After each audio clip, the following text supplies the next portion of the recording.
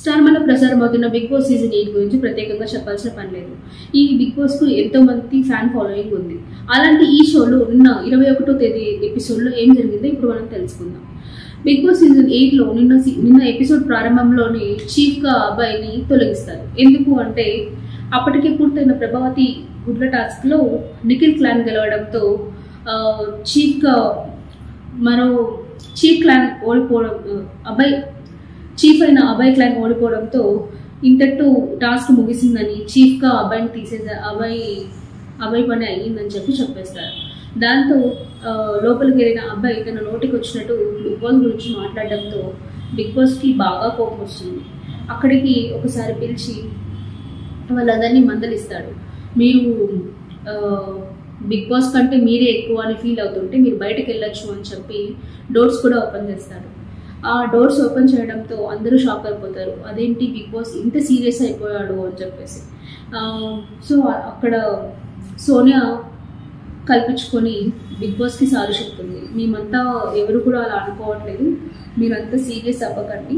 మేము చేసింది ఏదైనా తప్పైతే క్షమించండి అని చెప్పి మా టీం మేమందరం కలిసి సారీ చెప్తున్నామని చెప్పి సారీ చెప్తుంది.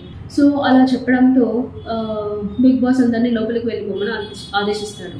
అయితే అప్పటి వరకు బిగ్ బాస్ గురించి తప్పుగా మాట్లాడిన అబ్బాయి మాత్రం తనేమీ తప్పు చేయలేదని చెప్పేసి మిగతా టీంతో మాట్లాడుకుంటూ ఉంటాడు.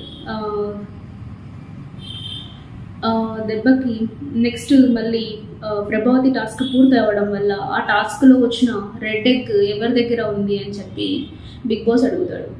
అడిగినప్పుడు నిఖిల్ తన దగ్గర ఉంది అని చెప్పడంతో నిఖిల్ మీరు ఆల్రెడీ చీఫ్గా ఎంపిక అయ్యారు వచ్చే వారానికి. ఇప్పుడు మీ దగ్గర ఉన్న రెడ్ ఎగ్ వల్ల మీరు చీఫ్గా ఎవరిని ఎన్నుకోవాలనుకుంటున్నారో మరో క్లాన్కి చీఫ్గా ఎవరిని ఎన్నుకోవాలనుకుంటున్నారో చెప్పండి అని చెప్పి బిగ్ బాస్ చెప్పడంతో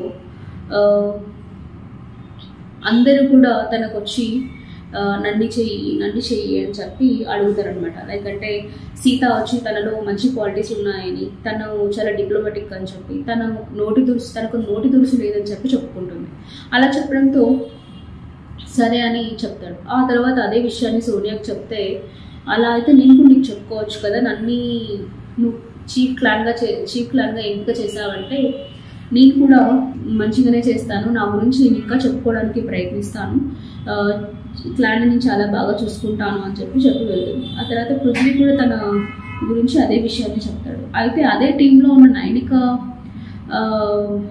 విష్ణుప్రియ మాత్రం ఈ వాళ్ళని చీఫ్గా ఎంచుకోమని చెప్పి చెప్పడు. చెప్పదు. చెప్పరు. మరో టీంలో ఉన్న యష్మి వాళ్ళు కూడా వచ్చి అడుగుతారు అనమాట అయితే రెడ్ ఎగ్ వాళ్ళ దగ్గర ఉన్నంత మాత్రాన వాళ్ళకి చీఫ్గా ఎంచుకునే అవకాశం ఇవ్వడం ఏంటి? అసలు బిగ్ బాస్కి క్లారిటీ లేదు. తన నోటికి వచ్చినట్టు చేస్తున్నాడు అని చెప్పి అబ్బాయి మళ్ళీ నోటు జారడంతో ఈసారి నిజంగానే అందరినీ బయటకు పిలిచి అర్ధరాత్రి పిలిచి బిగ్ బాస్ వాళ్ళకు గట్టిగా వార్నింగ్ ఇస్తాడు. అసలు బిగ్ బాస్ ఇది ఇది నా ఇల్లు. నాకు నచ్చినట్టుగానే ఇక్కడ జరుగుతుంది. ఇది బిగ్ బాస్ హౌస్ ఈ హౌస్లో నేను నేను పెట్టిన రూల్స్ పాటిస్తేనే మీరంతా ఈ హౌస్లో కొనసాగుతారు అని చెప్పి బిగ్ బాస్ గట్టిగా వార్నింగ్ ఇస్తాడు.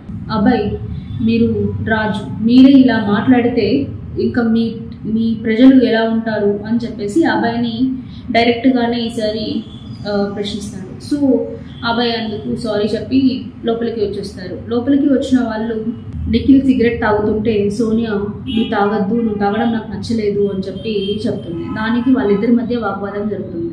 అలా జరిగిన తర్వాత అబ్బాయి దగ్గరికి వచ్చి నేను ఇంట్లో వాళ్ళు చెప్పినప్పుడే వినలేదు. బయట ఎంతోమంది నాకు చెప్పిన వాళ్ళు నాకు కావాల్సిన వాళ్ళు చెప్పినప్పుడే వినలేదు. ఈమె ఏం చెప్తే నేను అది అనాలా అని చెప్పి అబ్బాయికి సోనియా గురించి చెప్తాడు. అటువైపు సోనియా కూడా వాడొక శుద్ధపూస పూస.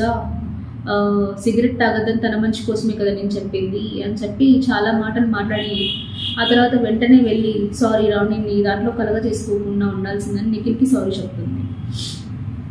ఇంకా ఆ తర్వాత బిగ్ బాస్ మీరు ఎవరిని చీఫ్గా ఎంచుకోవాలనుకుంటున్నారు మీ రెడ్డిని ఎవరిపైన ఉపయోగించాలనుకుంటున్నారు అని అడిగితే సోనియాని చీఫ్గా ఎంచుకోవాలనుకుంటున్నానని చెప్పి నిఖిల్ తనకు చెప్తాడు. వాళ్ళిద్దరికీ పోటీ పెడతారు. పోటీ పెడితే అందులో నిఖిలే గెలుస్తాడు. అయితే నిఖిల్ గెలిచినప్పటికీ తను గెలిచినందుకు హ్యాపీగా ఉన్నాడు. సోనియా ఓడిపోలేదనే బాధతోనే ఉంటాడు. మరోవైపు ఈ వారం నువ్వే ఎలిమినేట్ అవుతావు అని చెప్పి ప్రేరణ అని యష్మి అంటుంది. మరి ఈ వారం ఎవరు ఎలిమినేట్ అవుతారు అనేది మనం చూ వేచి చూడాల్సి ఉంది